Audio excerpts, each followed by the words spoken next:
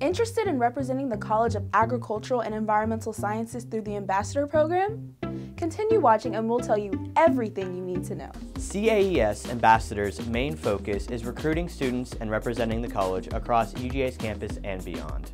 They also have the opportunity to travel, network with college leaders, expand communication and leadership skills, meet with potential students, and network with alumni.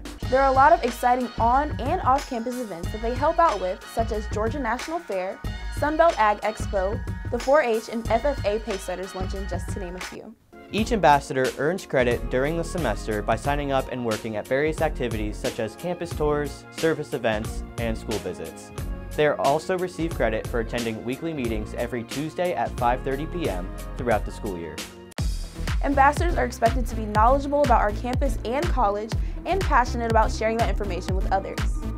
To apply, you must have a major in the College of Agricultural and Environmental Sciences and at least a 2.8 overall GPA. You must have already completed two semesters of undergrad and be enrolled in CAES for the following two semesters. Ambassadors must be enthusiastic, personable, and possess good communication skills. If you are interested in applying, make sure you attend one of the required info sessions. There, you'll get more information and have all your questions answered.